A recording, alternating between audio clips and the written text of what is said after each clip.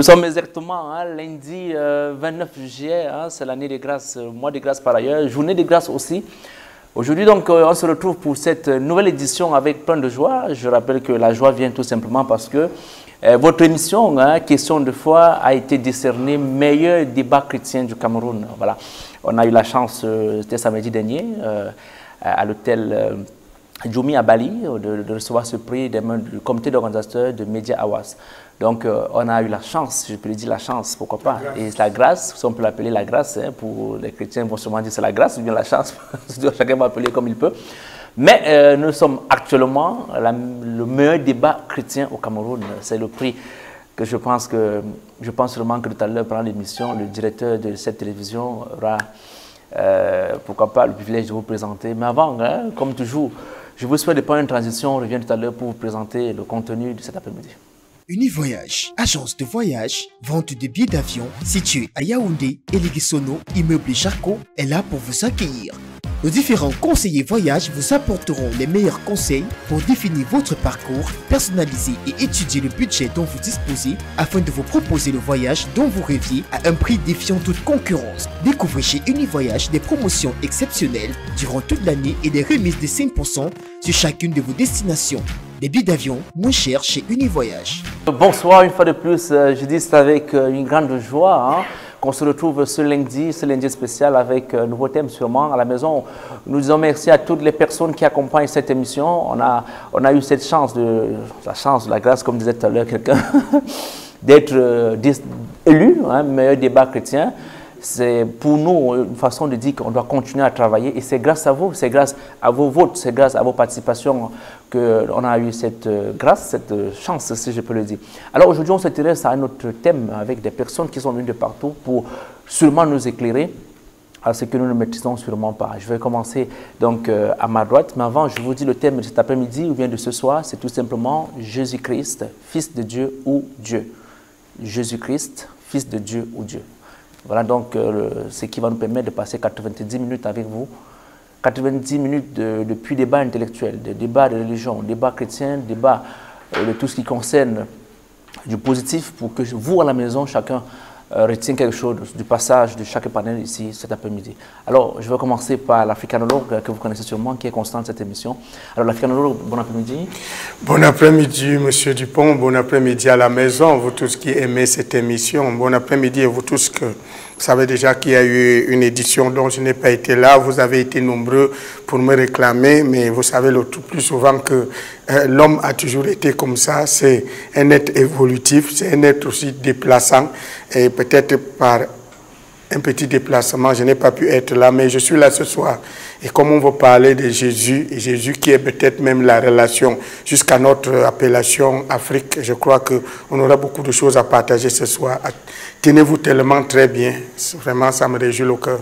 Merci donc euh, l'africanologue euh, Sylvain Ongene. Juste à côté de vous, euh, c'est sa première fois de participer à cette émission. C'est le révérend pasteur euh, Fouet, qui est bien connu dans le monde média. Et il a décidé, pourquoi pas, d'accepter notre invitation cet après-midi. Bonsoir. Bonsoir à vous, Simon. Bonsoir à, aux milliers de, de, de téléspectateurs de euh, Glory Christ Channel. Le plaisir est le mien de participer ce soir à cette émission. La thématique est euh, super intéressante. Jésus-Christ, Fils de Dieu ou Dieu. Je crois que ce soir, nous allons apporter suffisamment d'éléments pour que non seulement les athées, les chrétiens et les non-chrétiens soient enseignés, soient éclairés sur la Seigneurie de Christ. Merci bon. La Seigneurie de Christ, donc, ça renvoie à la divinité de Jésus-Christ, hein, qui est sauveur pour ceux qui sont chrétiens, pour nous les chrétiens. Et on a donc invité, pour, vous savez quand on parle d'émission question de foi, ça, ça, touche toutes les régions, toutes les confessions religieuses. Voilà pourquoi on a donc invité un dignitaire musulman, Tchèque Ali, qui est avec nous cet après-midi. Je pense que c'est sa première fois aussi de participer. Bonsoir Tchèque. Bonsoir. Euh... Le micro. Euh, bonsoir aux copanélistes, euh, bonsoir aux fidèles téléspectateurs. Euh, c'est la première fois. -hmm. Inch'Allah, mais nous sommes ravis d'être là afin de pouvoir échanger avec non seulement les, les savants des autres religions ici, mm -hmm. et de pouvoir aussi édifier les téléspectateurs en fonction de ce que nous avons comme connaissance. Et déjà, le thème, c'était un thème qui a fait beaucoup, qui a fait couler beaucoup de salive, pour ne pas dire aussi beaucoup d'encre. Donc, il est question pour nous aujourd'hui de pouvoir porter à partir des preuves livresques euh, les éléments qui pourront témoigner soit de, de- du mensonge ou de la véracité des propos, du, du- du- du contenu du thème de ce soir. Inch'Allah. Ok. Juste à côté de vous, euh, euh, Père-Fils euh, Boumson, il est euh, curé hein, à la chapelle de Kougou, Saint-Placide de Kougou. Il est par ailleurs Père supérieur de la congrégation des deux saints cœurs de Jésus de Marie. Et il est là pour une autre fois, c'est pour vous dire qu'il est constamment sur ce plateau. Alors, mon Père, bonsoir. Bonsoir, monsieur le journaliste. Parti de Dakolinga pour participer à cette émission. Merci Ah oui, beaucoup. parce que euh, nous sommes appelés à enseigner. Oui. Euh, bonsoir à mes confrères dans la foi. Mhm. Merci d'être au rendez-vous. Mhm. Nous disons aussi bonsoir à ceux qui nous écoutent en ce moment. Mhm. Et que le Seigneur nous éclaire. Ok. Mesdames, Messieurs, donc voilà donc euh, des quatre personnes qui vont nous accompagner. Je dis, nous sommes là pour un débat objectif. Le but, c'est que vous, à la maison, chacun au parti d'ici reste avec quelque chose de positif. Voilà donc euh, pourquoi nous sommes là. Alors, le thème dont on est parti, on va commencer euh, directement avec l'africanologie. Est-ce qu'il n'y a pas antagonisme l'africanologie entre l'africanologie et Jésus-Christ? Bon, aujourd'hui, on s'intéresse hein, de Jésus, fils de Dieu ou Dieu. Est-ce que l'africanologie a une place dans Jésus-Christ, vous connaissez Jésus-Christ en Afrique? Merci euh, de, la question. Je crois certainement que lorsqu'il s'agit de parler de Jésus-Christ, il s'agit de parler des choses de Dieu, l'Afrique n'est jamais en retard en ce qui concerne l'existence de Dieu, et pas plus ou moins même pour Jésus, étant déjà donné qu'en Égypte, on le reconnaissait déjà comme Amon-Ré, qui veut dire le fils du soleil, et euh, même aujourd'hui, je sais que tout bon bantou, principalement le Béti, lorsqu'il va appeler son fils, il dit Amon, et ça continue. Et Jésus-Christ se présente dans l'Apocalypse en disant qu'il est Amen. Vous voyez qu'il y a un rapprochement entre ces âmes-là. Ça veut dire qu'on ne peut pas être africain et ne pas considérer ce qui concerne Jésus. Bon, maintenant, le comprendre tel que les choses sont présentées, euh, que comment est-il euh, donc en même temps fils et en même temps Dieu, c'est là où nous allons essayer d'entrer en profondeur parce que, euh, étant donné que la Bible, telle que les gens le disent, n'est pas la, le, le- livre des Occidentaux, parce que le commencement de la Bible commence par les Africains. Et c'est à cause de ça que nous avons le droit de parler de ça aujourd'hui. Parce que même lorsque nous appelons même déjà Afrique, qui, qui a été éri- dérivé de l'appréciation ou de l'attente de celui que nous appelons, que nous nous interrogeons, Jésus, est-ce qu'il va descendre? On est à l'attente de cet homme. Et en plus, non seulement cela, il a eu en sorte que la- la- la- la terre qu'on a d'abord appelée Égyptie, c'est-à-dire qu'on supportait la terre, et cette terre, on l'a encore surnommée Afrika, c'est-à-dire que, que nous attendons même des gens que nous sommes en train d'enterrer sur notre terre. Vous allez voir que partout, il y a toujours cette manière d'honorer les gens qui sont partis, parce que nous attendons que celui qui est parti, la mort étant purificateur, ceux qui passent par la mort ont la possibilité de venir vers nous pour venir nous apporter un quelconque euh, éclaircissement des choses que nous ne connaissons pas. Vous savez que dans la Bible, il y a déjà euh, cet homme qui avait dit à Jésus, euh, à Abraham, que quand on envoie quelqu'un dans la maison, il a dit qu'ils écoutent Moïse et les prophètes. Et nous connaissons qu'en Afrique, lorsque quelqu'un veut mourir, généralement, il a toujours, il voit toujours les visages des personnes qui sont parties avant lui. Le plus souvent, quand vous l'entendez là où il est couché, là, il est en train de prononcer le nom de ce, de ces gens-là. Et lorsque Jésus fut sur terre, il a eu aussi les mêmes appréhensions. Avant de mourir, il a rencontré ses ancêtres. Il s'agit de Moïse, il s'agit d'Élie. Donc ça veut dire qu'il y a un rapprochement par rapport à ce que la Bible rapporte et nous aujourd'hui. Donc je crois que l'africanologie euh, l'africanologie ou l'Afrique n'est pas loin de comprendre quel est le but du Christ et quel est son travail. Parce que ce qu'il aura à expliquer, c'est de savoir déjà que ce qu'on appelle fils, c'est quelque chose qui est né quelque part. C'est quelque chose qui est né. Et ce qu'on appelle Dieu, c'est un titre. Or, si on ne comprend pas les choses de cette manière, on va seulement se mettre à bavarder. Dieu, c'est un titre. Et en plus, ce que je suis, c'est ce que mon enfant doit être. Si j'ai de l'héritage, mon enfant a cet héritage. Mon enfant a le droit de se faire appeler comme moi, s'il le veut. Il y a même Donc, des enfants que Jésus-Christ, fils de Dieu ou Dieu? À ce rythme-là, ça dit que il est fils en tant que le physique qu'il est venu présenter parmi nous. Parce que pour connaître le Christ, il faut aller dans Ésaïe 9, verset 5, où on va sur huit étapes pour découvrir Jésus. Or, le problème fondamental des chercheurs qui veulent suivre tout simplement les Écritures, ils se basent tout simplement du fait que on parle. Quand vous lisez Ésaïe 9, vous qui lisez à la maison, moi je n'aime pas souvent utiliser la Bible parce que la Bible est en moi. Vous qui lisez dans la maison, vous allez voir que Ésaïe 9, verset 5 est en train de dire, un enfant vous est donné. Tous les peuples de la terre attendent toujours un enfant spécial qui va venir changer la précarité, les difficultés, les choses dont la famille est en train d'endurer ou le clan est en train d'endurer, toutes les familles de la terre.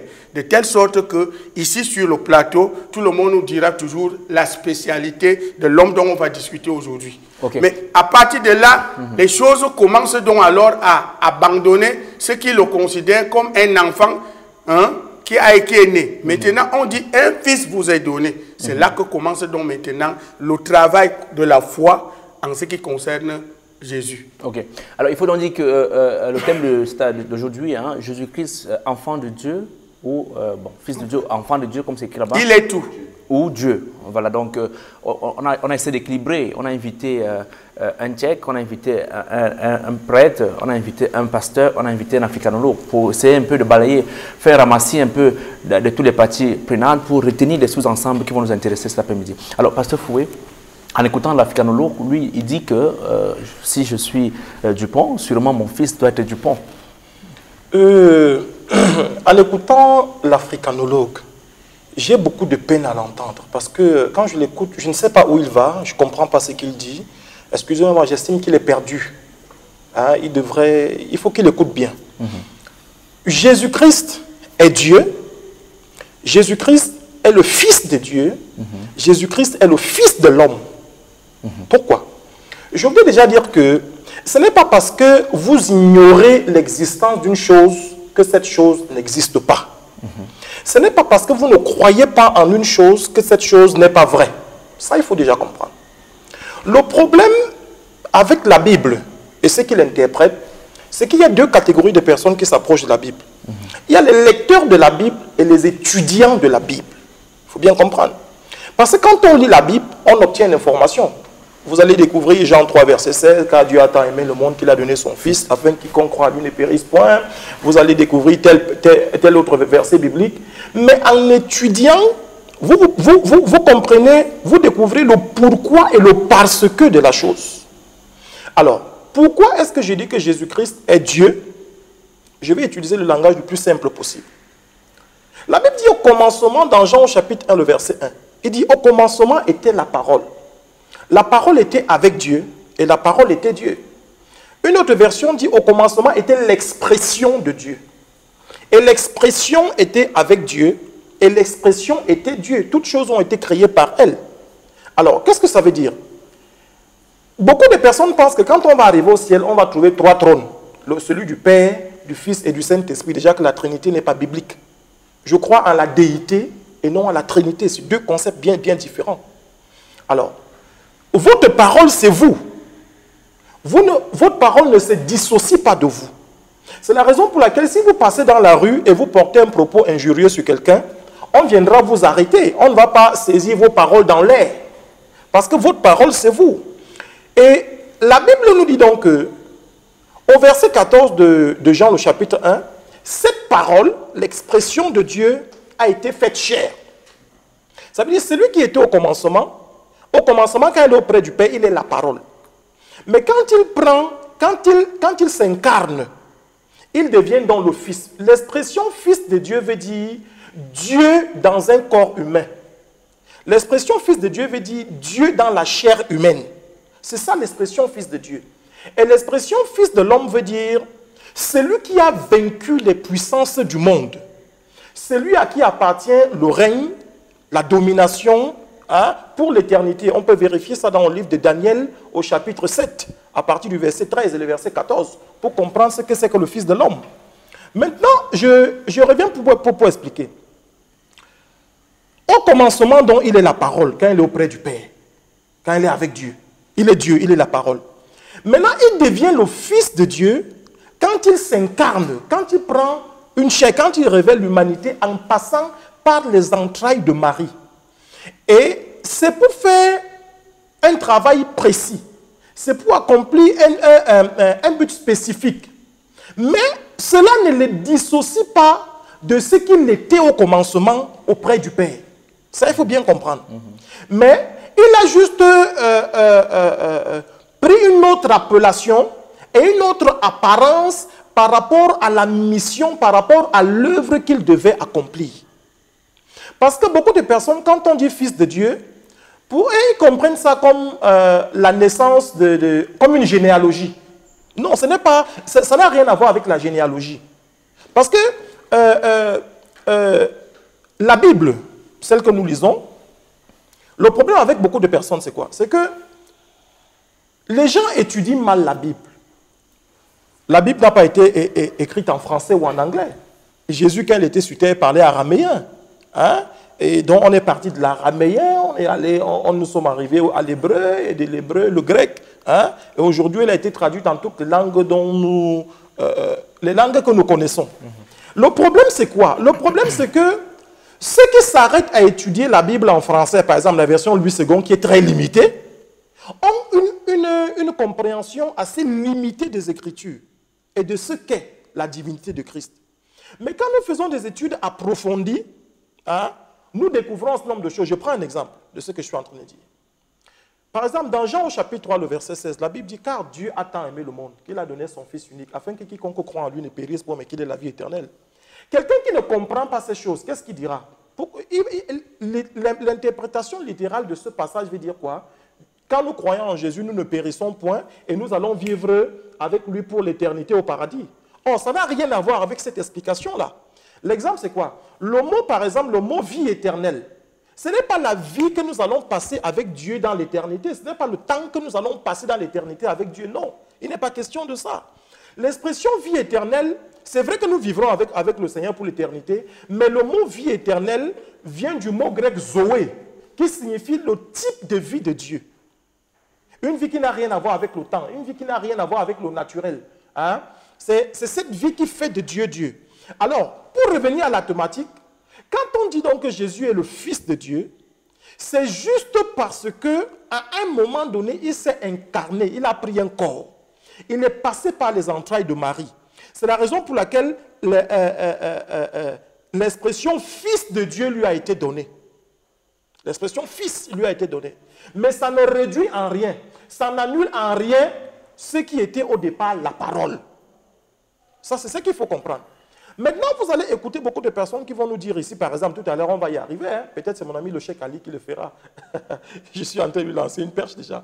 Vous voyez, on va prendre un verset dans, dans, Jean, on va ramasser un verset dans Matthieu où Jésus dit Allez dire à mes frères, je suis le Fils de l'homme. Ils vont balancer, ils vont ramasser des versets qui ne, dont ils ne maîtrisent ni l'interprétation ni la compréhension. Hmm. Pourquoi? Attendez, donnez-moi 30 ah, secondes pour chuter. Le temps. Pourquoi? Simplement parce qu'ils ne sont que des lecteurs. Hmm. Ils ne comprennent pas la chose au fond. La Bible est spirituelle. La Bible ne se comprend pas comme un roman. Il faut aller dans les sources, dans les profondeurs pour la comprendre. Mhm. Ça, c'est pour le premier jet. Mhm.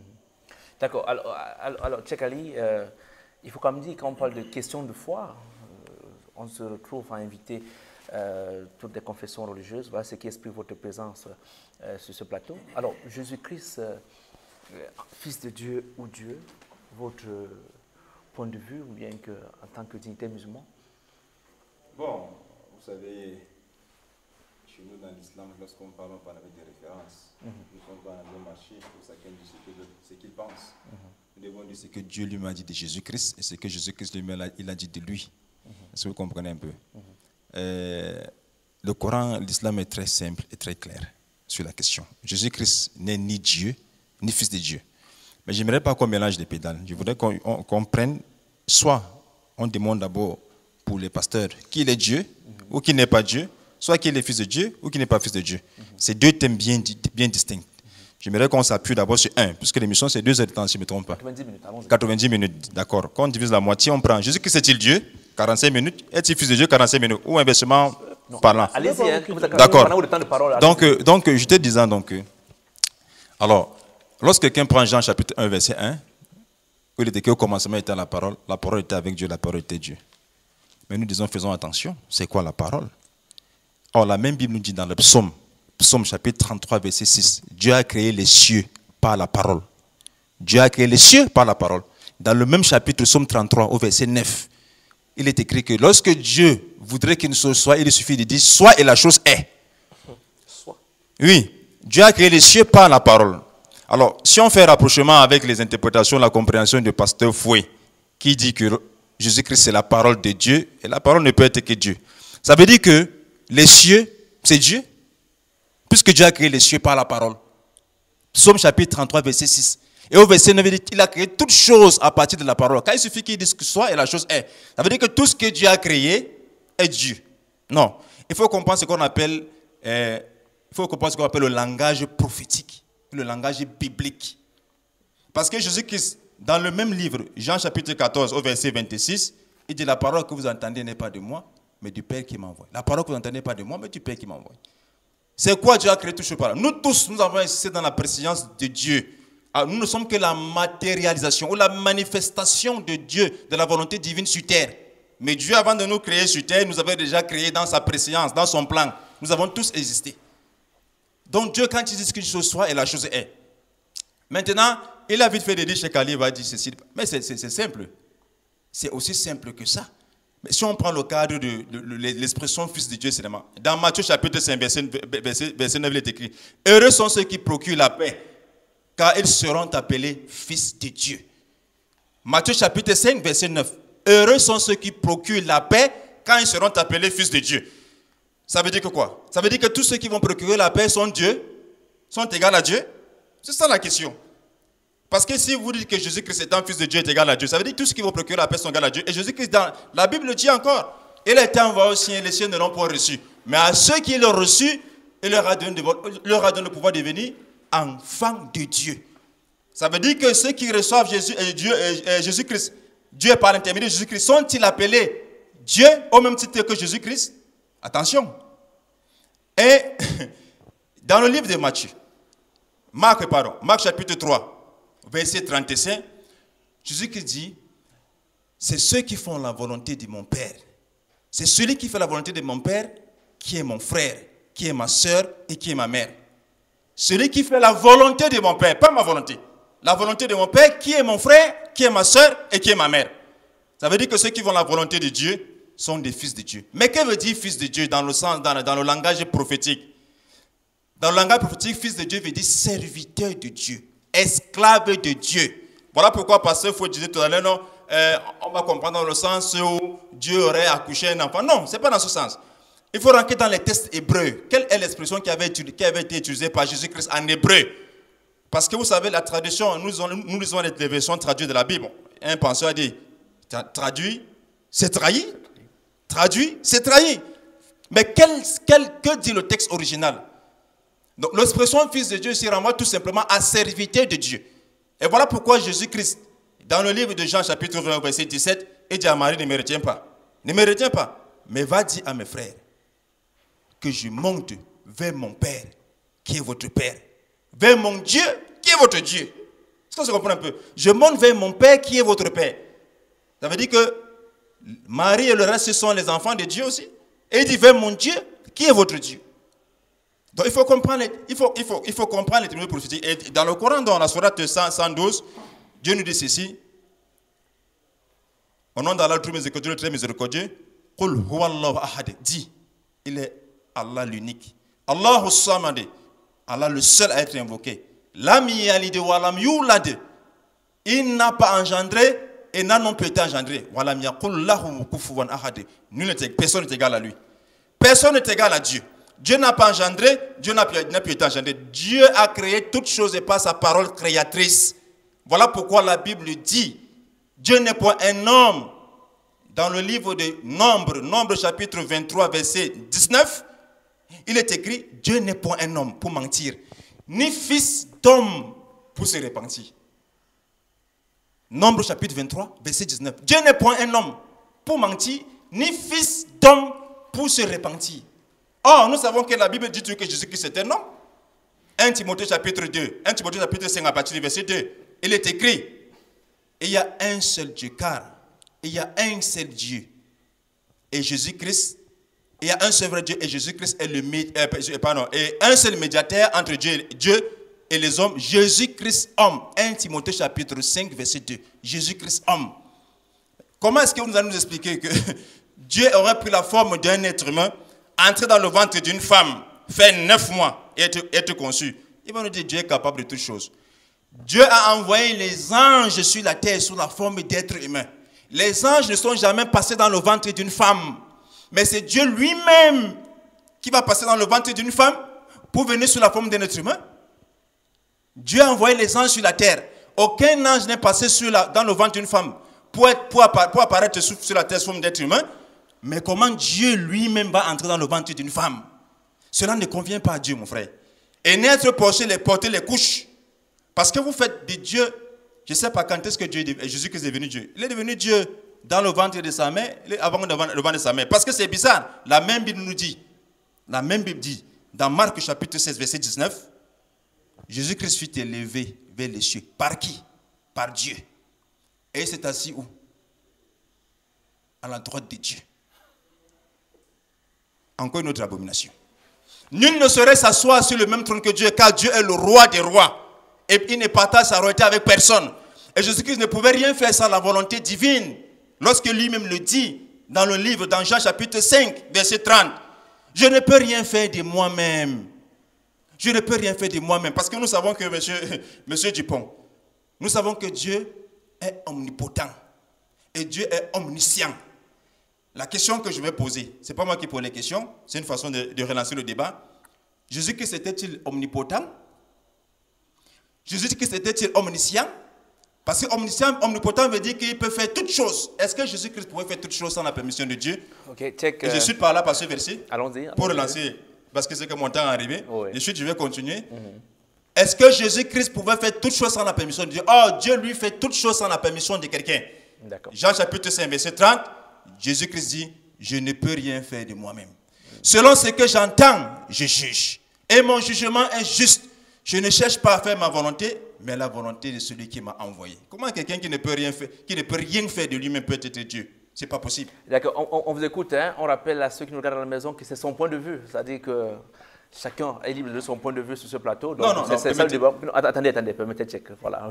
Euh, moi, je ne suis pas en tant que chrétien. Voilà, je dis que euh, c'est votre point de vue, c'est-à-dire que vous avez donner votre point de vue par rapport au thème, où chacun aura le temps tout à l'heure de parler par rapport au thème. on va passer la parole au père-fils euh, Marie de la Passion Boumson. Alors, mon père, vous êtes, euh, nous savons que des, prêtres sont des, comment disons au quartier, des intellectuels, ceux-là qui ont eu le temps même hein, d'étudier la Bible, de faire la philosophie, de faire la théologie morale. Ce problème n'est pas, quand on parle de Jésus-Christ, fils de Dieu ou Dieu, n'y a-t-il pas un problème euh, d'incompréhension ou bien Expliquez-nous un peu, mon père. À partir du thème déjà, mhm. où il est dit Jésus-Christ, fils de Dieu ou, Dieu. Mhm. Peut-être moi, en tant que chrétien, mhm. je dirais Jésus-Christ en même temps Dieu, ou bien Jésus-Christ est Dieu. Mhm. Bon, et ce que je voudrais, par contre, le, débat risque de se tourner vers des prises de position religieuses. C'est-à-dire que c'est ça que j'ai dit que chaque, ça n'engage que chacun euh, assume hein, ses propos. C'est ça que j'ai dit. Voilà. Ne pas apporter l'enseignement. Et puis, il faut faire attention. La Bible, c'est un couteau tranchant à deux revers. De telle sorte que lorsqu'on mélange, qu'on ne reste pas dans le contexte, ça devient un problème. On ne peut pas tout le temps vouloir justifier soit l'Ancien Testament ou le Nouveau, toujours par un verset qui a été dit en son temps et pour un problème précis. Euh, mon frère qui est à ma droite, je comprends bien, il étudie la Bible, l'Ancien et le Nouveau Testament. Mais je voudrais euh, quand même nous dire que nous sommes partis de la création. Tout est parti.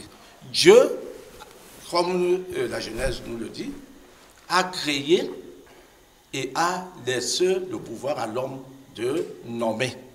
Dieu n'a rien nommé sur la terre. C'est l'homme que Dieu a amené à la coopération, qui va dire que ça, c'est la table, c'est un chien. Et quand Dieu va créer, écoutons un peu, quand nous parcourons la Genèse, il dit, venez et, créons l'homme à notre image. Il convoque quelqu'un. Il n'a pas dit que je euh, crée ou bien je fais l'homme à mon image.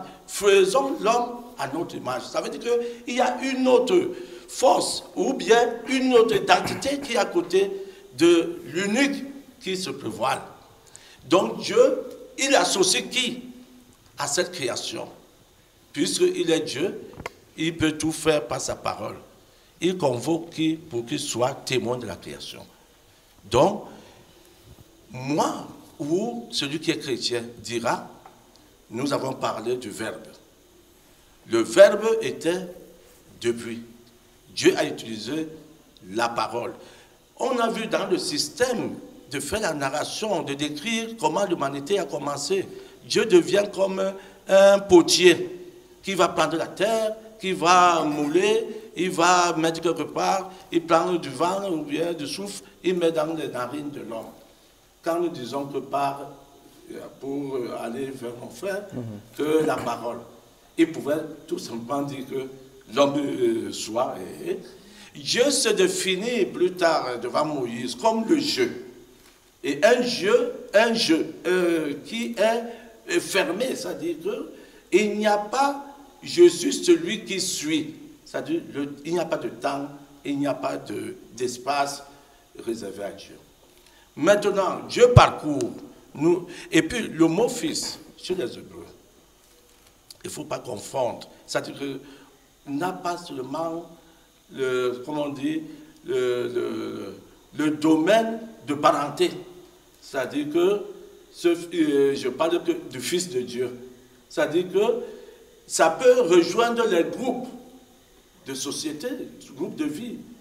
Le fils d'Israël, le fils de Jacob, le fils d'Abraham, le fils de Boumson, le fils de tel. Il y a des notions d'attribution de, du fils. Donc, maintenant, quand nous parcourons l'Ancien Testament, sûrement que euh, Ali utilise dans les surahs parce que si j'ai bonne mémoire, c'est l'ancien qui, qui constitue sa Bible. Et le mien, euh, la mienne, va jusqu'à ajouter plus de 39 livres, c'est-à-dire 73 livres. Et le Christ va arriver. Dieu qui a créé tout. Et par la force de faire, il est omnipotence et agios. Et Dieu va maintenant mettre l'homme dans l'histoire du salut. La finalité du Christ vient ici pour le salut. Ce n'est pas pour la création. On ne parlera pas de Jésus parce qu'il a créé. On parlera du, Christ parce qu'il vient comme sauveur. Et maintenant, quand le Christ rentre dans l'histoire, verbum caro fatum est, et habitavit in nobis, le Verbe se fait chair et il a habité parmi nous. D'où nous parlons de l'incarnation du Fils de l'homme. Et quand le Fils de l'homme rentre dans le soir, c'est lui, en sous-entendant que son Père déjà a dit, j'ai vu la misère de mon peuple, j'ai entendu le cri de mon peuple dans l'exode, et je suis venu à son secours. De quelle manière?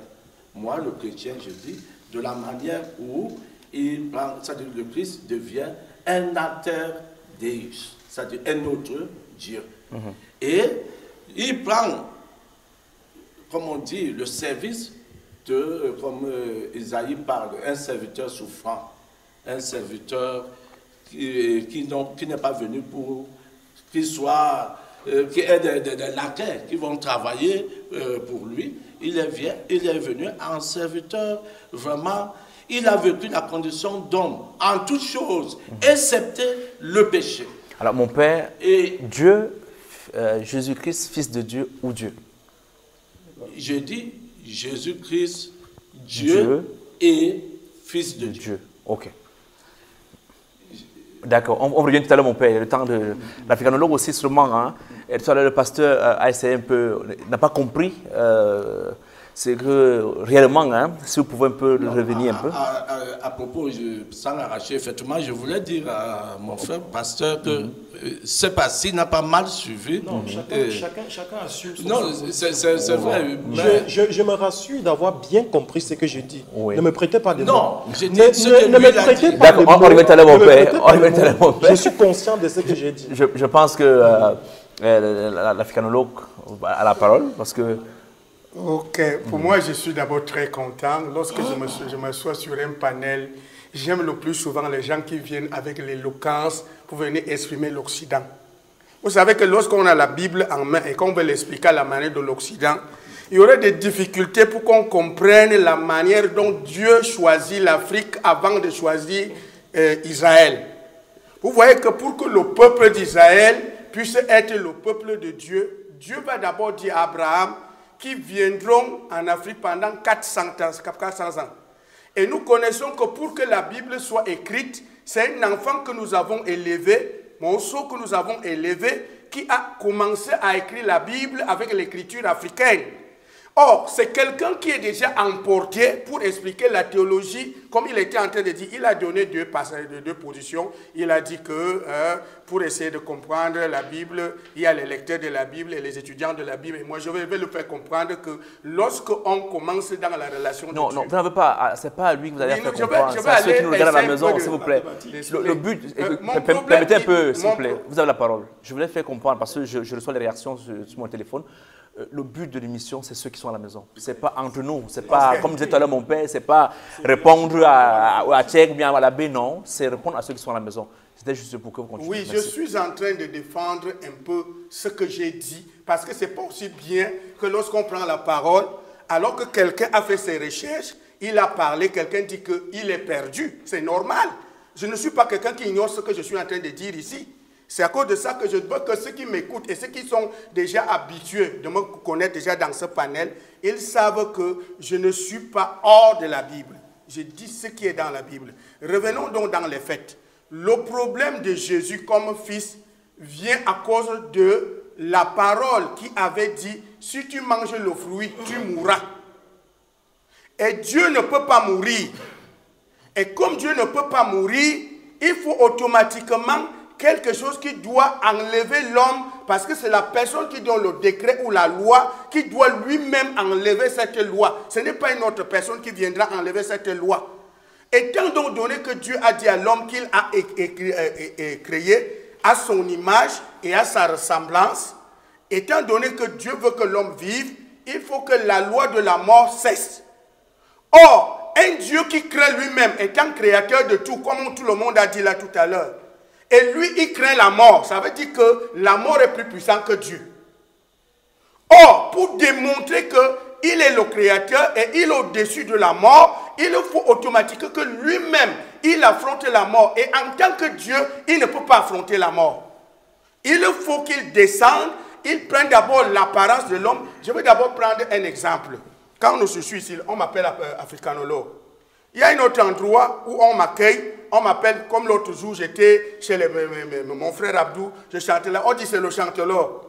Quand on me reçoit là-bas, ce que je, suis en train d'effectuer là-bas ne donne pas le même nom que j'ai ici. Quand vous avez la fonction, la fonction de Jésus comme fils, c'est que Dieu a besoin de sauver l'homme. Et comment donc il va sauver l'homme? Il a besoin d'être homme pour piéger donc finalement la mort, pour montrer à la mort qu'il est le créateur de tout. Or, un Dieu qui ne peut pas affronter lui-même la mort, ça veut dire que la mort est au-dessus de Dieu. Si la mort est donc au-dessus de Dieu, ça veut donc dire que lorsqu'il nous dira n'importe quoi, on ne croira pas qu'il est un Dieu tout-puissant. Un Dieu tout-puissant, donc, quand j'ai parlé de Ésaïe 9, et je me baserai chaque fois que je vais venir dans cette émission pour démontrer étape par étape. Donc, je parlais, j'ai d'abord parlé l'étape d'un enfant qui est né, comme nous avons entendu les gens qui ont expliqué comment Jésus est né. On entre maintenant dans l'étape de fils. Un fils nous est donné. Et quand le fils nous est donné, même nous-mêmes, nous naissons d'abord comme des enfants de Dieu. Et quand nous grandissons, la Bible dit que Dieu a fait en sorte qu'il soit le grand frère de plusieurs fils, comme notre frère, euh, notre ami Cheikh euh, était en train de le démontrer.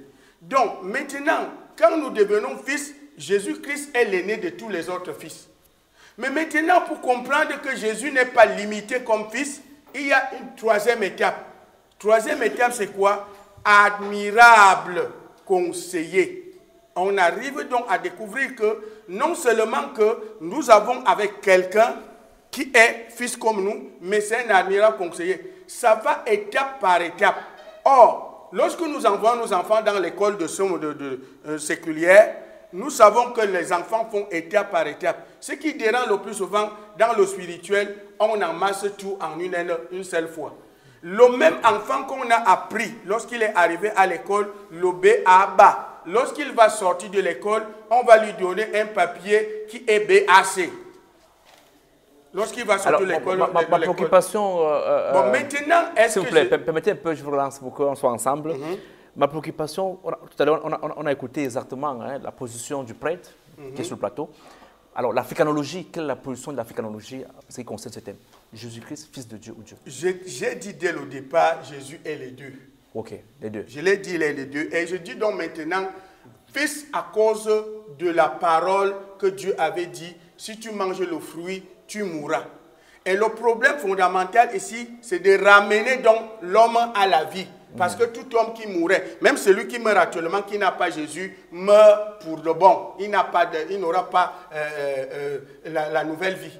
Il faut que, pour que nous puissions avoir la vie, il faut que ce renouvellement d'alliance qui a été fait au travers de Jésus-Christ soit donc effectué. Alors, plus vous avez la parole, hein, je vais euh, vous lire le message de, de Cyril Steph Zier, mm -hmm. qui ne trouve pas normal hein, quand vous dites que euh, la mort est au-dessus de Dieu. C'est pas moi qui dis.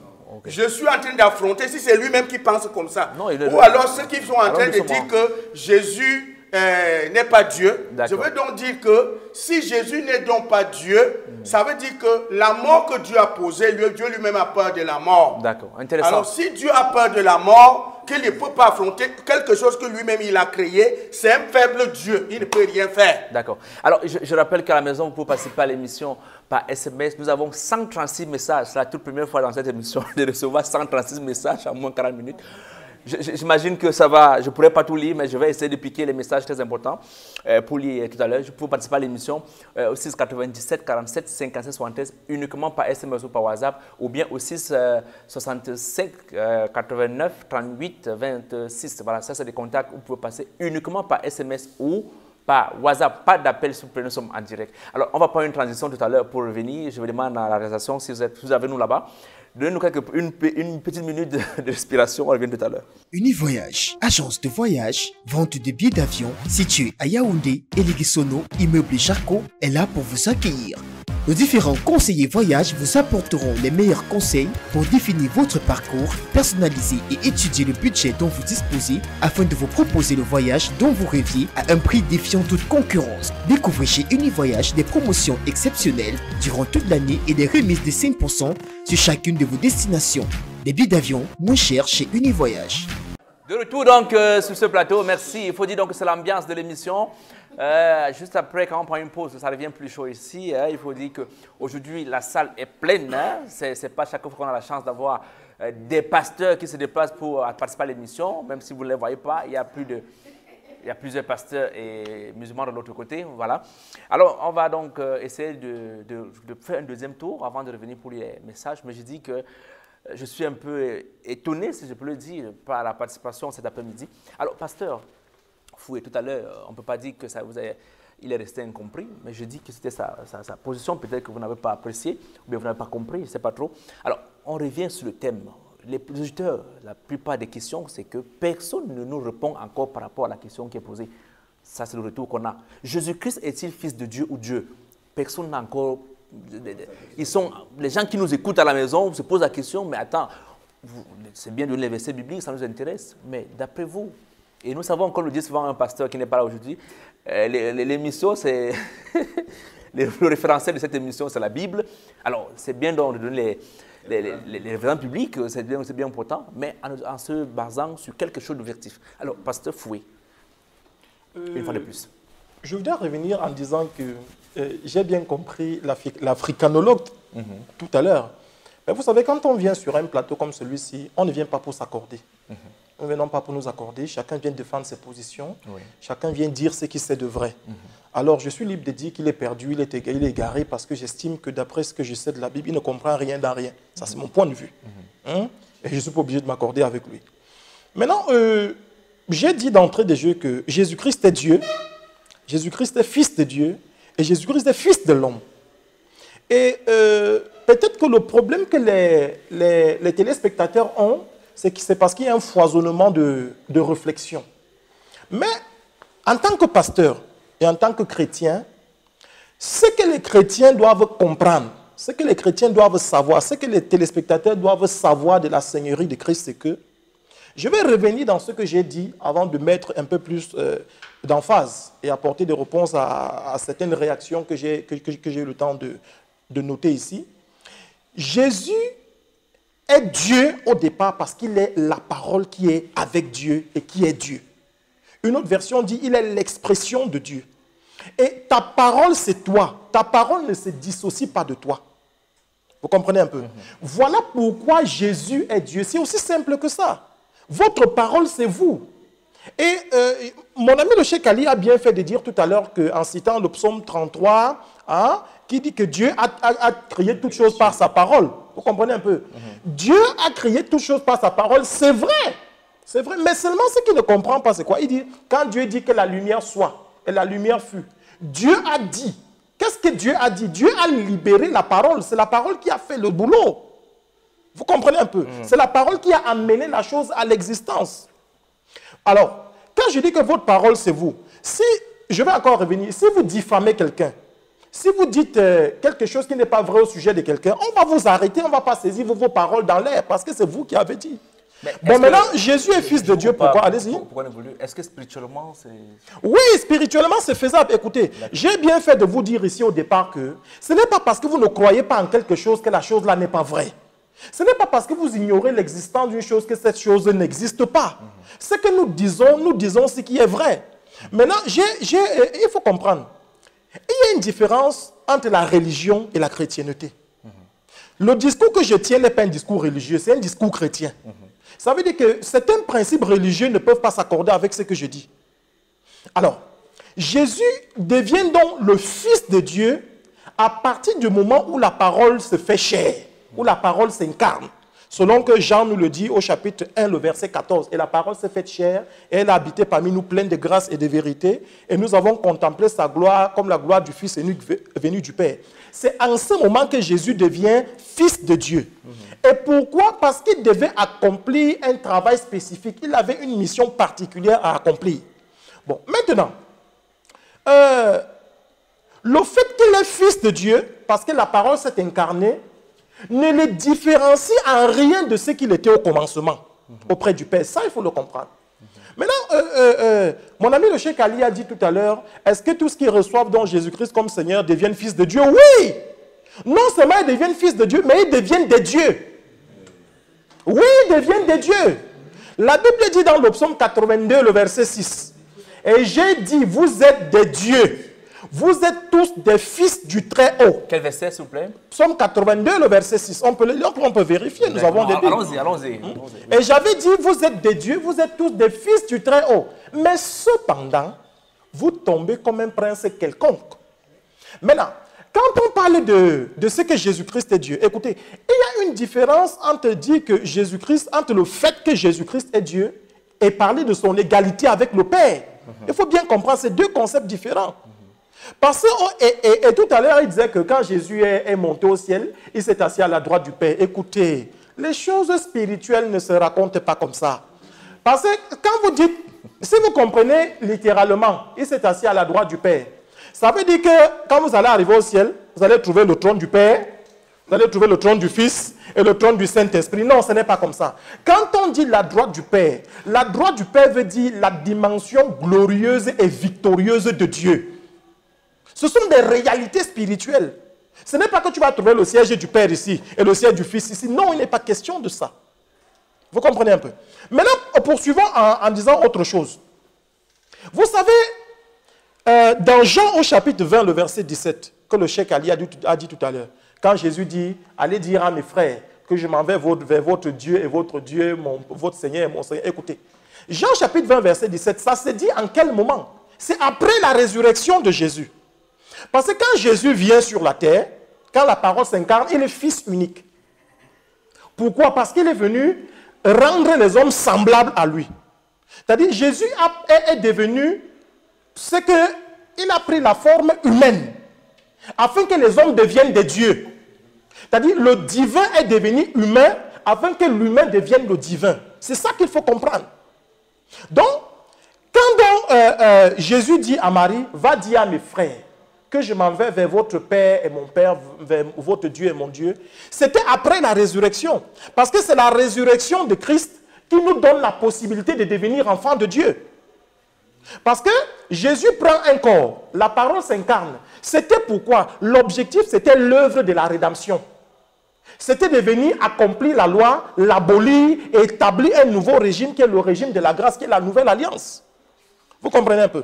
Donc maintenant, on dit, il y a un seul Dieu, 1 Timothée 2, verset 5. Car il y a un seul Dieu et un seul médiateur entre Dieu et les hommes, Jésus-Christ homme. Oui, c'est vrai, Jésus-Christ homme. Pourquoi Jésus-Christ homme? Parce que c'est la parole incarnée qui, fait, qui joue le rôle de médiateur. Vous comprenez un peu?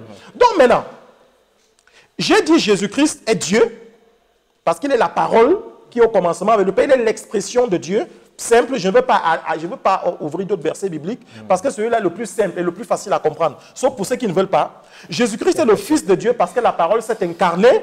Hein. Jésus-Christ est le Fils de l'homme. J'arrive. Il est le Fils de l'homme. Je ne veux pas seulement m'arrêter à Fils de Dieu. Il est le Fils de l'homme. Que veut dire Fils de l'homme? Je, je, vous ai donné la référence de Daniel, le chapitre 7, à partir du verset 13 et le verset 14. Le Fils de l'homme veut dire c'est lui qui a vaincu les puissances du monde. C'est lui qui a vaincu les puissances sataniques. Et le Fils de l'homme désigne celui, qui, a reçu la domination et, l'autorité pour l'éternité. Donc, pour chuter, quand nous disons que, euh, quand nous parlons des traductions de Bible, hein, tout à l'heure, euh, quelqu'un parlait de Louis II et autres, de l'hébreu, de ci et de ça. Écoutez, vous savez, la parole est esprit. Et quand on dit que la parole est esprit, qu'est-ce que ça veut dire? Quand on dit que la parole est esprit, c'est que, ou alors quand on dit la parole est esprit et Dieu est esprit, le mot esprit vient du grec pneuma, qui veut dire le vent. C'est-à-dire tu ne peux pas la contrôler, tu ne peux pas la contenir. Vous comprenez un peu? Et la parole de Dieu que nous étudions aujourd'hui, il y a des clés pour comprendre ces mystères. Parce que beaucoup de personnes peuvent dire Jésus est le Fils de Dieu, mais ils ne peuvent pas expliquer. Il y a des clés. Si vous n'avez pas les clés, vous ne pouvez pas comprendre. Et cette clé-là, c'est celle-là, ce sont ces clés que je suis en train de vous donner. Mais le problème, c'est que nous ne sommes pas obligés de nous accorder. Personne n'est obligé d'accepter ce que je dis, mais ceux qui croient, croient. Encore plus, on croit toujours la vérité. ce qui est intéressant. Alors, à la maison, vous pouvez euh, participer par SMS. Euh, ça augmente euh, les SMS. Je pense totalement pas le temps de de lire ou bien de, de, nous voir en direct hein, sur votre téléphone, c'est possible. encore. Voilà, c'est possible à la maison d'aller en direct sur la page euh, Chapelle de la Gloire. Vous êtes en direct sur, votre téléphone. Tout le monde peut le faire. D'ailleurs, je rappelle que plusieurs sont en train de nous regarder par le biais de leur téléphone. Voilà. Ok, merci beaucoup à la caméra qui, qui fait un tout ça. Voilà, merci beaucoup. Alors, on va, on va continuer donc avec euh, euh Kali. Alors, Tchèque Ali, euh, tout à l'heure, là, vous avez, je ne peux pas dire que j'ai été impressionné, mais j'apprécie beaucoup quand même votre facilité de maîtriser les versets publics en tant que, euh, en tant que musulman. C'est un ancien religieux. Bon, je ne sais pas, je parle pas l'ancien, je parle présentement, je ne sais pas ce qu'il était avant. Alors, euh, euh, ils sont en train de nous expliquer que, en vous écoutant, il y a une façon littérale d'expliquer la Bible qui n'a sûrement rien à voir, par exemple, avec, avec, avec le spirituel. Tout à l'heure, comme vous avez dit, par exemple, la Bible dit euh, il a aussi va s'asseoir à la droite de Dieu le Père. Le pasteur faut nous faire comprendre qu'en fait, il il s'agit vraiment pas d'un trône où euh, Dieu sera assis sur une chaise avec ses enfants à côté. Alors, est-ce qu'on peut dire qu'il y a un problème de compréhension ou bien Bon, il c'est eux qui ne vous comprennent pas? Déjà, il faut, com- il faut, il faut comprendre une chose. Mhm. Euh, la Bible, tout comme le Coran, s'explique de, tout comme le Coran s'explique de trois façons. Mhm.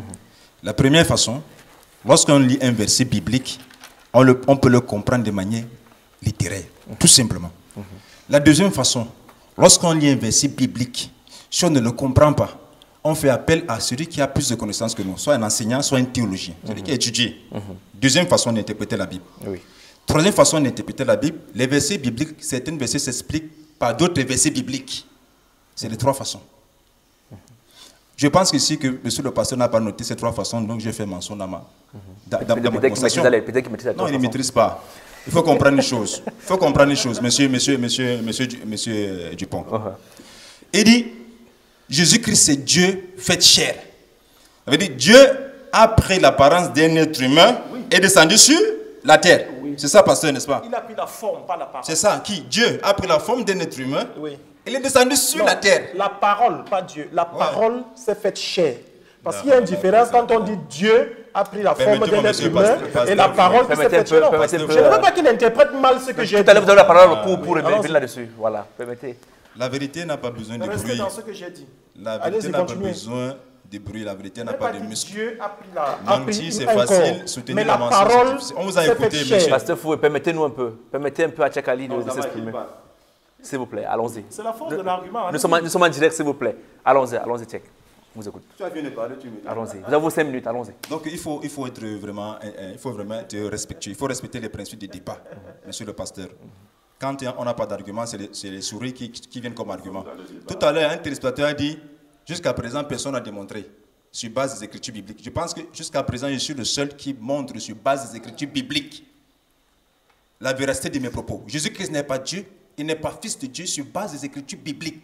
Et Jésus-Christ n'est pas le seul à être appelé fils de Dieu dans la Bible. Adam a été appelé fils de Dieu. Luc chapitre 3, verset 38. Adam, fils de Dieu. David a été appelé fils de Dieu par Dieu. Dans le psaume chapitre 2, verset 7, Dieu dit aujourd'hui à David, aujourd'hui tu es mon fils. Je t'ai engendré, aujourd'hui tu es mon fils. Psaume chapitre 7, verset 2. Tous ceux qui font la volonté de Dieu sont appelés fils de Dieu, pas dans le sens où Dieu a procréé, a eu des rapports avec une femme, dans le sens où ils sont serviteurs, ils font la volonté de Dieu. C'est ça qu'il s'agit. Je vous rappelle que nous, nous, surfons sur, nous surfons sur la base des traductions bibliques. Et traduire, c'est trahir. Mais qu'est-ce que Jésus-Christ dit quand on lui demande quel est le premier des commandements? Quel est le premier des commandements? Marc chapitre 12, verset 29. Écoute Israël, Shema Israël, Adonai Eloheinu, Adonai, Ehad. Écoute Israël, le, le le- Seigneur de notre Dieu est l'unique Seigneur, premier de tous les commandements. Les chrétiens ici sur le panel n'arrivent pas à comprendre ça. Jésus-Christ dit, le Seigneur notre Dieu, vous et moi, écoute Israël, le Seigneur notre Dieu, c'est-à-dire vous et moi, est l'unique Seigneur. Et il a repris cette parole-là de Moïse dans Deutéronome chapitre 6, verset 4. Moïse a dit en hébreu, Shema Israël, Adonai et le Adonai Ehad. Écoute Israël, le Seigneur notre Dieu est l'unique Seigneur. Mais vous n'arrivez pas à inté- intégrer ça dans votre tête. J'ai posé un raisonnement qui est très simple. Si Dieu a envoyé les anges sur la terre sous forme d'être- d'êtres humains, sans que les anges ne passent par le ventre d'une femme, c'est Dieu qui va venir sur la terre sous forme d'humain en passant par le ventre d'une femme, fait neuf mois. Mais c'est terrible. C'est absurde. Les anges ne sont pas, n'ont pas fait neuf mois dans le ventre d'une femme. C'est un homme qui va venir sur la terre. On- on explique- venir. on explique que c'est spirituel quand même. Non, c'est pas spirituel, monsieur, monsieur Nathan. J'ai j'ai dit, il y a trois façons d'expliquer la Bible. Et souvent, mes amis, mes amis pasteurs, quand ils sont coincés face à une explication, ils disent, ils comprennent avec la chair. Non. Il faut comprendre avec l'esprit. Quel esprit? Les choses qui sont simples. J'ai expliqué les trois façons de comprendre les Écritures. Aussi simple que ça. Et je ne mâche pas mes mots. Jésus-Christ dit. Jésus-Christ dit, Jean chapitre 17, Jean chapitre 17, verset 3. Car la vérité éternelle consiste à ce qu'il t'adore, toi, le seul, le vrai Dieu, et Jésus-Christ que tu as envoyé comme messager. Jésus-Christ dit Dieu est le seul. Ça veut dire qu'il n'y a pas d'autre Dieu en dehors de lui. Il est le vrai. Ça veut dire que toute personne qui va s'autoproclamer Dieu est faux. Et il donne sa position et lui, il a envoyé le message. Aussi simple que ça. Et j'aimerais dire à mon frère le panafricaniste, Africanologue, africanologue. africanologue, C'est les mêmes gens parce ils prennent le retour à, la culture africaine. Que tout ce qu'il a dit, ça n'a rien à voir avec Jésus-Christ. Il n'a pas de preuves. Les Africains noirs ont reçu des prophètes. D'abord, rentrons dans l'origine de la race de la, de- la- peau noire. Nous sommes descendants, nous noirs, de l'un des fils de Noé, qui est Cham. Et Cham a eu un enfant qu'on appelle Canaan. La terre de Canaan qui est l'actuelle Palestine. Nos ancêtres viennent de Canaan qui ont immigré vers l'Égypte noire. L'Égypte a été noire. Et les Bantous, et les Haoussa, et les Peuls, tous viennent d'Égypte. Et en Égypte, Dieu a envoyé un prophète qui est Moïse. Moïse était noir. Ça, c'est les, les enseignements de l'islam. Noir. Il a prêché le monothéisme pur, comme j'ai amené dans Deutéronome chapitre 6, verset, verset, verset 4. Écoute Israël, le Seigneur notre Dieu est l'unique Seigneur. Mais le message divin a commis des altérations, des dilutions, des achats et des manquements, pas des détracteurs de la vérité. Et c'est comme ça que l'évangile aussi a subi certaines modifications, pas des détracteurs de la vérité. En commençant par l'empereur Constantin, l'empereur premier l'an 325 après Jésus-Christ, qui a christianisé le paganisme romain. Voilà pourquoi il y a beaucoup de, rites romains dans le christianisme aujourd'hui. Revenons dans le thème. Revenons dans le thème. Tout à l'heure, j'ai dit au pasteur Foué, moi je ne parle pas de la passion, jamais des versets bibliques. Dieu a créé, psaume chapitre 33, verset 6, Dieu a créé les cieux par sa parole. Dieu a créé les cieux par sa parole. Ça veut dire les cieux sont les fils de Dieu Non. Les cieux ne peuvent être, être fils de Dieu. Et puis il y a même confusion.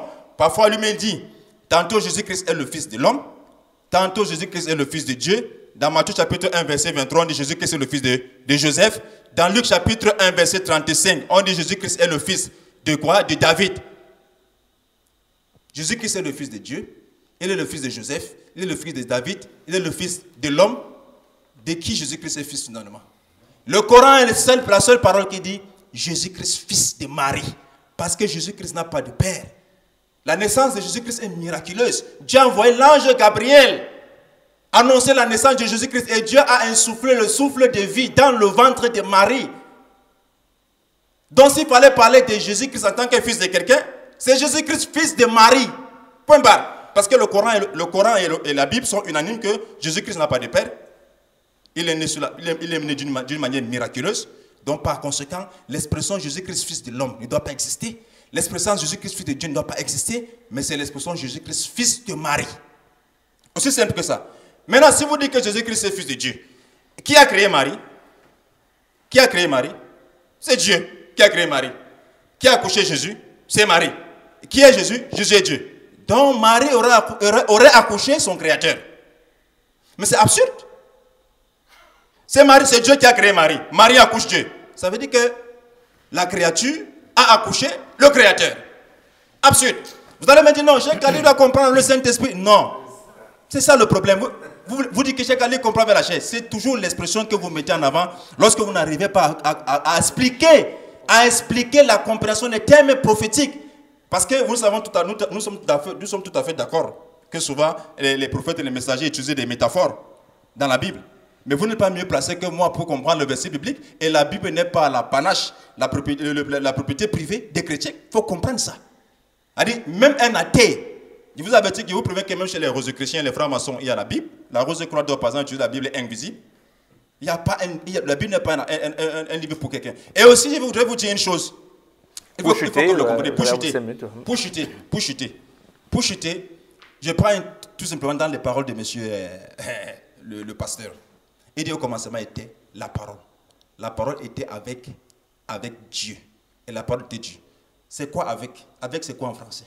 Ça veut dire que quiconque a giflé Jésus-Christ a giflé Dieu Est-ce que si quelqu'un gifle Jésus-Christ, il a giflé Dieu? Comme ça vient dans Jean chapitre 18, verset 22. Et il y a un, un huissier de justice qui a giflé Jésus-Christ. Un huissier de justice a giflé Jésus-Christ. Il a giflé Dieu.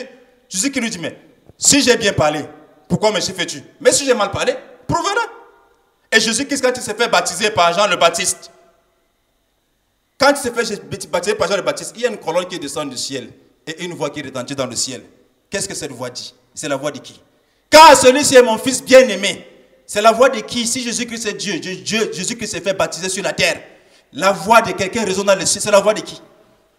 C'est une preuve que je vais chuter monsieur, monsieur, le monsieur. Parce que moi, j'amène des versets bibliques. hein. ah. je ne parle pas sur l'effet de la passion. Je, je ne parle pas sur l'effet de la passion. Je vais chuter en disant tout simplement que La voix dans les cieux, c'est la voix de qui C'est Jésus-Christ, c'est Dieu sur terre. Et lorsqu'il apprend la prière de notre Père, il dit Voici comment vous devez prier. Notre Père qui est, aux, qui est aux cieux. Notre Père qui est où Qui est aux cieux Jésus-Christ est sur terre. Il dit Notre Père qui est aux cieux. D'accord. Comment, On- comment il peut On revient tout à l'heure hein, pour la troisième pa- pa- participation. Alors, mon père, euh, vous êtes mieux placé pour nous expliquer un peu ce qui ne va pas. Mieux placé, moi je continue à dire que le débat, c'est la défense des prises de position. Parce que ça sera difficile.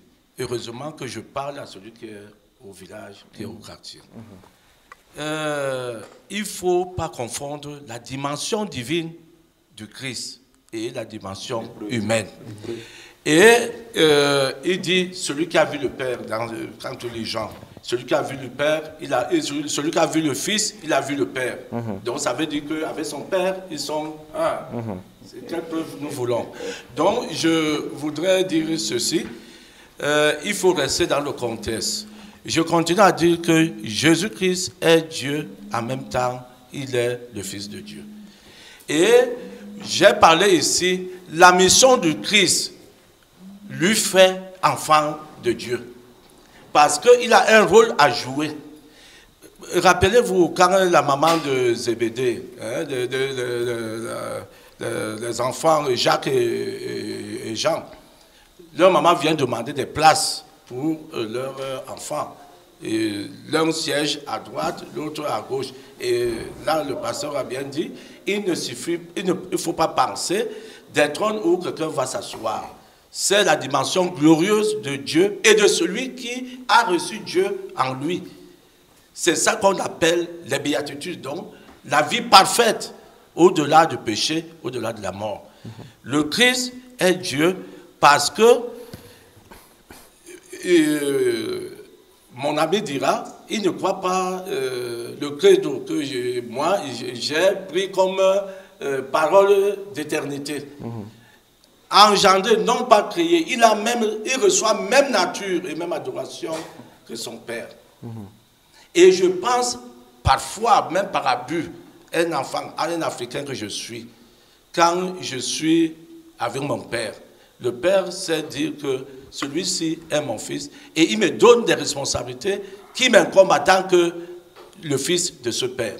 Et qu'il soit là ou pas, ou qu'il soit mort, il sait qu'un autre Boumson existe et vit. Et il va continuer la lignée de euh, la tribu, de la famille. Et le Christ en a reçu. Et bien sûr, c'est bien quand il, il pneumatikos, c'est-à-dire que le- le- l'esprit ovule, c'est-à-dire que touche euh, l'ovule de Marie pour concevoir le Christ. Ça n'a pas été. On a eu des prophètes, des grands prophètes sur la terre. Mais nul n'est passé, n'a eu ce privilège de ne pas être, n'est-ce pas, retenu par le vouloir ou l'amour d'un homme et d'une femme. Il faut être un Dieu ou un autre Dieu, ou fils de Dieu pour avoir ce privilège. On n'a pas à faire la magie pour le comprendre. Il y aurait plusieurs personnes qui soient nées, et même la science qu'on fait aujourd'hui, on fait le clonage, on va faire ceci. Il faudra toujours qu'il y ait la présence d'un homme et d'une femme, c'est-à-dire le spermatozoïde ou, euh, euh, l'ovule, pour faire euh, fabriquer à la manière de la science un enfant. Mais mon Donc, père, moi, j'ai un peu une question. tu aimes, euh, Non, quand je- veux. non, c'est que vous comprenez parce que quand vous hein. parlez, non, je vous comprends, c'est pour vous poser une question, pour lancer. Quand vous parlez, les gens écoutent, et c'est l'enseignement en fait. La question c'est que euh, tout à l'heure, les versets bibliques que donnait euh, le tchèque là, de- en écoutant, Oui. ça a quand même aussi un sens en ce qu'il explique. je, ne- je ne- je n'en disconviens pas. Mais le problème, c'est qu'il les mélange. Mhm. C'est-à-dire qu'il ne reste pas dans le contexte de ce pourquoi Dieu a parlé en ce moment-là. Mhm. C'est-à-dire qu'il ne faut pas. Le mélange fait en sorte que nous allons voir, euh, dire même que la Bible n'est pas vraie. Mhm. Et que. Et si nous mettons littéralement pour expliquer la Bible, on ne peut pas. La Bible, ce n'est pas un roman. C'est un livre de foi. Dieu a parlé en son temps et pour les hommes de son temps. Et nous, nous actualisons ce qu'il a dit il y a de cela des milliards d'années. Et pour entrer dans ce contexte, il faut rentrer dans euh, l'his- l'historique de la création jusqu'à la prise de, de- de- de salut que son Fils amène. Et Jésus-Christ, nous, chrétiens, parce que là, le baptême, on a parlé de baptême. Jésus n'a jamais reçu un baptême chrétien. hein? Et le baptême que le Christ recevait n'avait rien à voir avec la conversion. Sinon, s'il avait une possibilité du péché, c'est qu'il n'était pas le Fils de Dieu ni même Dieu. Il reçoit le baptême de ses pères dans le judaïsme. On ne parlait pas de la chrétienté, chrétienté. ça dit que d'église, ça n'existait pas. Et même, on ne parlait même pas de, des musulmans. Et on parlait de ces vieilles religions, de bouddhisme, et judaïsme. Jésus reçoit le baptême de, de ses parents, c'est-à-dire de la descendance de David. Et maintenant, même Jean-Baptiste, dans l'eau, il voit le Christ venir. Il dit non, il ne voulait pas même le, le baptiser. Mais laisse faire. Parce qu'il y avait une voix qui venait. C'est ça que le frère euh, musulman dit. Tchèque, il dit Voici mon fils, la, fi- la filialité. C'est-à-dire qu'on attend quelle voix autorisée pour euh, euh, accepter que Jésus-Christ est le Fils de Dieu. Voici mon fils. Il l'a dit de personne d'autre, ni avant ni après. Et le Christ rentre dans. Et quand il sort des eaux, c'est là où la mission commence. Et Jean-Baptiste de dire Voici l'agneau de Dieu. Voici celui qui enlève le péché du monde. Suivez-le. Où est ta maison, Seigneur?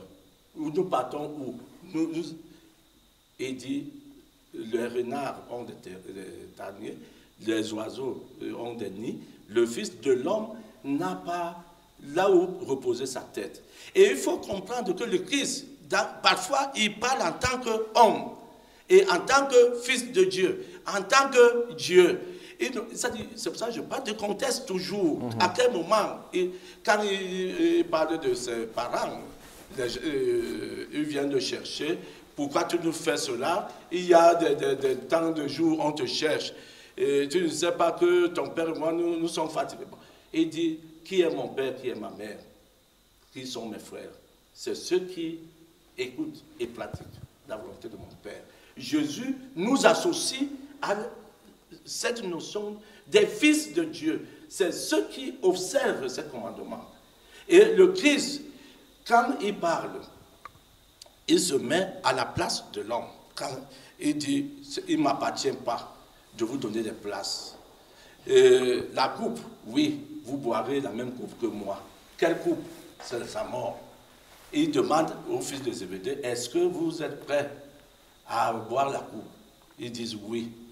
Peut-être ils le disaient sans savoir le sens. Mais le Christ leur explique que la coupe, oui. Mais les places au ciel, c'est mon Père. Donc, Jésus parle en même temps comme celui qui est envoyé pour une mission. Et il était question d'accomplir la mission dans la, que l'achèvement et le, la- le- le sommet, c'est la croix. Là où il va se donner à la mort. D'autres euh, philosophies parleront de euh, suicide ou de ne sais pas quoi. Mais la mission était de venir faire beaucoup d'enfants et les amener à la même gloire que lui D'accord. en tant que le Fils de Dieu. Et Fils de l'homme, je ne sais ni l'heure ni le temps, mais une chose que je sais, je reviendrai comme vous me voyez partir. Et lui, tchèque, ne peut pas, même si, pas comprendre, mais adhérer, parce qu'il ne pourra pas accepter que Jésus-Christ soit Dieu ou en même temps Fils de Dieu. Donc il va se limiter à ce... Autrefois, chez les Hébreux, hein, chez les- les- on ne parlait, prononçait pas le nom de Yahweh comme ça. Quand tu arrivais là où c'est écrit Yahweh, tu dis... Hmm. Tu ne parles, parles pas. Et comment un homme peut s'approprier, peut se dire qu'il est égal à ce Dieu? Pour eux, c'est, les motifs de condamnation même du Christ en font partie. Parce qu'il prend Dieu comme son Père, ou bien il parle comme le Père. Et on dit un fils d'homme. C'est ça que mon ami Tchèque ne pourra pas accéder à ce. On peut dormir ici, on reviendra. D'accord. En fait, le, le- but, c'est pas à ce que tu es. Voilà, le but, c'est pas ça. Le but, c'est de récupérer le, le- plus important, hein, de retenir quelque chose de plus important. Je rappelle que nous sommes euh, exactement à moins de 13 minutes de la fin de cette émission. Euh, 90 minutes, parfois ça coule euh, très rapidement. Et beaucoup de messages nous viennent de WhatsApp, de, de, de, SMS. Je ne pourrais pas lire plus de 100 messages actuellement en moins de 13 minutes.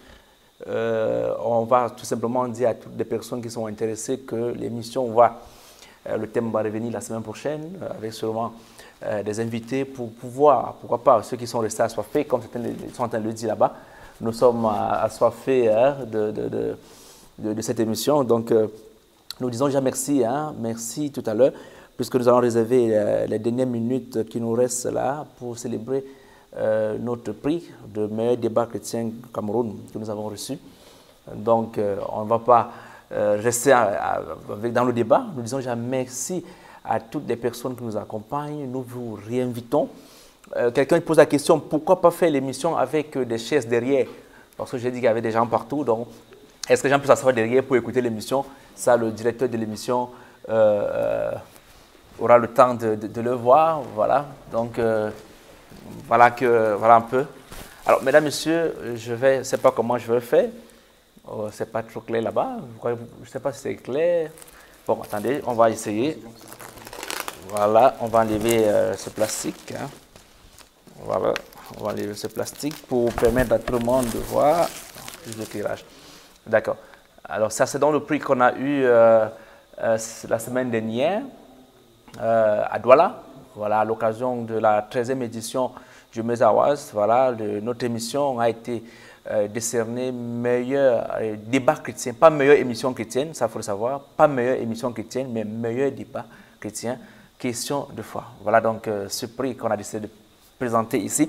Pour dire merci donc à toutes les personnes qui accompagnent cette émission, pour dire merci à, vos, messages, parce que je rappelle que la plupart des personnes qui étaient euh, nominées, tout le vote se passait par WhatsApp, par Facebook, par la page euh, du comité d'organisation. Nous sommes très fiers aujourd'hui de présenter ce prix.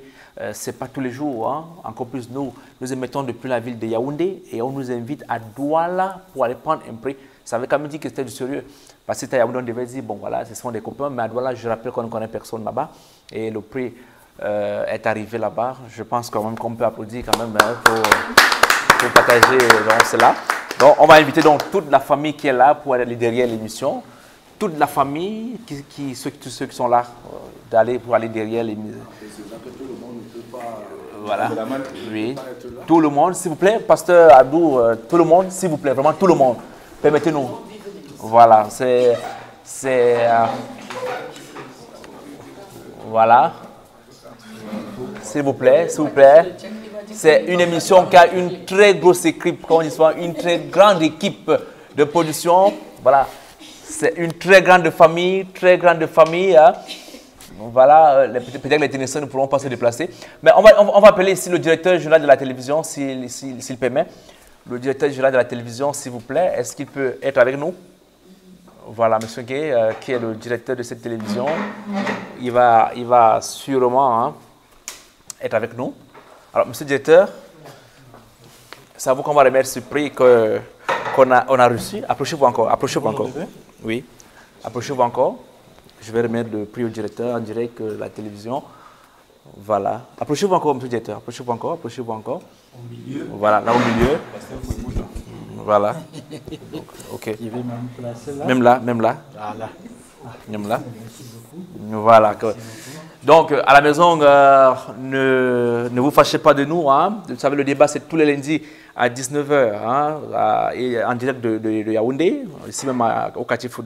Mais cette soirée, on a décidé de célébrer ce prix à notre façon, en nous disant merci à toutes les personnes qui nous accompagnent. Il faut dire que les gens viennent de partout pour participer à cette émission à l'instar du prêtre qui sont Linga pour être avec nous, euh, notre frère qui est parti de loin pour être là. Je rappelle que c'est même ici qu'il a fait sa prière. Voilà, c'est ici qu'il a fait sa prière. Il faut dire qu'il est parti de partout. Euh, qui est toujours là avec nous. La prophétesse Louise, euh, pasteur Fouet qui a tout pu, on a invité, là, dit je serai là.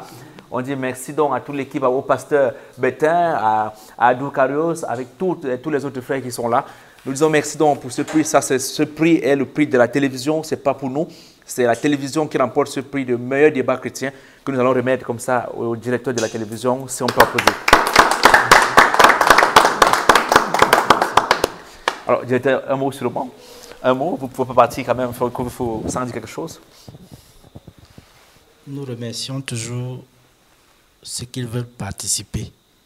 Et nous pouvons toujours apporter de l'évangile là où il n'y en a pas. Merci à tous qui viennent ici pour dire quelque chose de bon pour nos téléspectateurs qui nous suivent de loin. Merci beaucoup. Ce prix vous est dédié hein, à vous aussi. Et je remercie aussi là la présidente directeur général, le pasteur Christian Babouké et son mari qui ont permis que je sois là. Je crois qu'eux aussi sont honorés ce soir. Merci bien. Merci beaucoup. D'accord. Mesdames, Messieurs, donc, euh, sur ce, on va donc mettre euh, un thème à cette émission aujourd'hui, qui était une émission vraiment spécialement. On a passé 90 minutes avec vous, on a passé un très bon débat. On revient la semaine prochaine sur le même débat. Je vous souhaite de passer une bonne nuit grâce à Dieu. On se retrouve lundi prochain.